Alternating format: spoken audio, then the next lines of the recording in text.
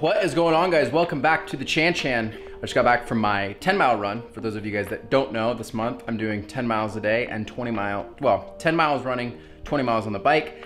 I may take Sundays off. I'm not really trying to prove anything anymore by doing extreme exercise every single day. Um, but anyways, today is a what you would call brick day, so multiple sessions in one day. For those of you guys that didn't know what that term meant, sometimes I call it a block day. I really don't even think it matters. But anyways, today's a brick day, so I'm gonna share the run portion with you and I'm gonna talk about that, talk about like aerobic endurance runs, and then also gonna be doing the bike portion, talk a little bit about that, and then I may go over my pre-run ritual in regards to stretch, talk about diet a little bit, kind of just like to catch you guys up on what I've been up to, how my training's looking, and what I got going on. So enjoy the video. Be sure to subscribe to the channel. Without further ado, let's get into it. Let's go.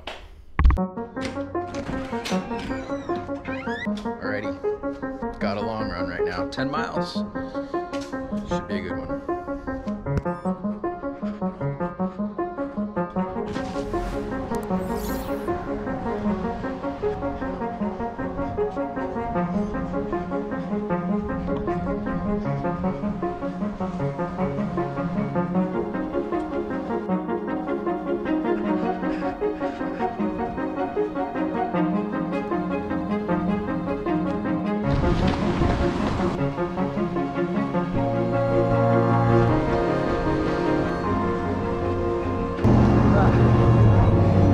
Aerobic endurance run. Oh man.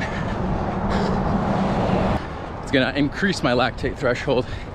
These long aerobic efforts are super good for not only building endurance, but it's actually gonna help with your speed. So incorporate eight, 10 mile runs into your training program.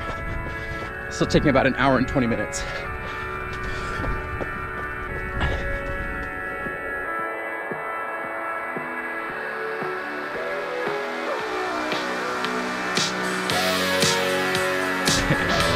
Yeah, you. I just had this thought, like, I'm running right now and I honestly don't really feel like it. It's just one of those days, but think about how much of our lives is centered around not wanting to do something. I don't want to work. I don't want to exercise. I don't want to work on my relationship, whatever it is. You can find like a discipline in your life. For me, it's running or it's something that you don't want to do, but you continue to practice every day, think about how much better you're going to be at doing other things in life, whether it's work, relationships, whatever that is. So find something that you don't want to do and do it anyways. It'll make you better. All right, that's all. Oh, and that made me think. Someone's like, you know, people are like, I don't want to do this. I just want it to be better. Well, the only way you're going to get better is if you actually work and do it when it's tough and when you don't want to. Okay, now I'm done.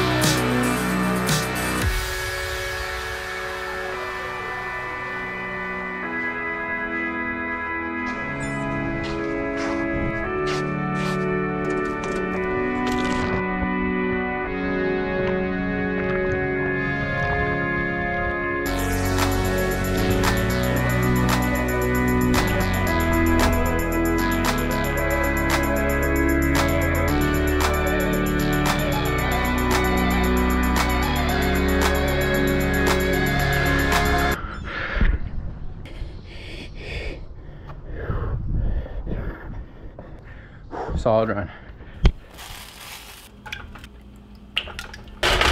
Still doing eggs and egg whites now, and still doing the oatmeal with fruit. On days that I on days that I train harder, like today, I have a 10 mile run, or I had a 10 mile run, and I have a 20 mile bike ride, so I'll probably want, I'm just gonna need more calories. Burning like 43 to 4,600 a day, so I'm trying to get a good amount of fuel in the morning, and that's why I did four eggs and four egg whites. Hey. Very happy. I've never been so glad. I've been really into vintage t-shirts lately and um, there's this place in Encinitas that I go to called Flashbacks. Bought a vintage shirt there, obviously vintage, when I was with my sister. Um, and then I went back yesterday and I got two more. This one says get real. And then on the back it says girls can play hockey too. I don't even know what that means, but I just thought it was cool. It's vintage. Okay. Jesus. A little too much salt. My biggest tip or piece of advice or whatever, the most important thing to pay attention to when you are training really hard is make sure you're getting enough protein because especially on these long days where you're gonna be running, lifting, biking, swimming, whatever it is, you need to get protein. You don't wanna start to burn or break down muscle. When you're burning that many calories, your body needs fuel. So don't think that, oh, I'm gonna go run 10 miles and then bike 20 and then I'm gonna like get lean or lose weight. It just doesn't work like that. Pay attention to the healthy deficit if you guys are trying to get lean, which I wouldn't even recommend 10 mile days and 20 mile bike rides if you're trying to get lean. I would honestly just say hit workouts. Someone actually asked me that. But anyways, get your protein in. Okay. 50 minutes into this bike ride. Well,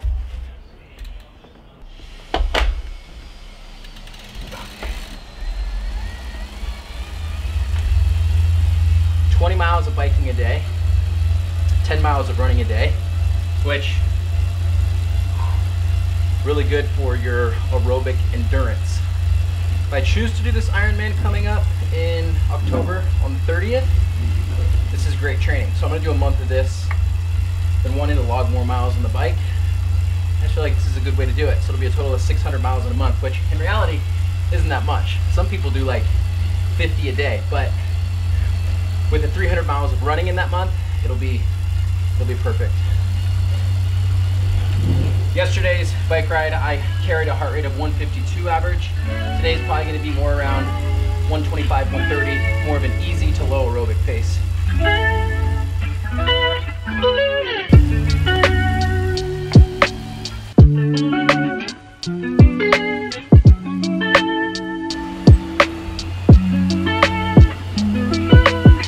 You know, for some reason, bike ride oh, always seems like longer for me than the run, even though the run takes me like an hour and 10 to an hour and 20 minutes. I don't know what it is.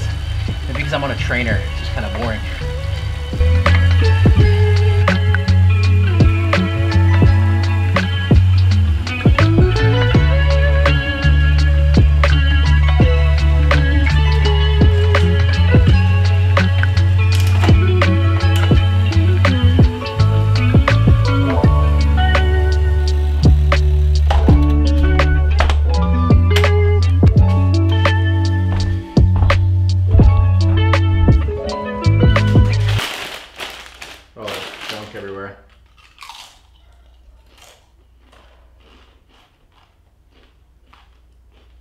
Well, that's the end of the video.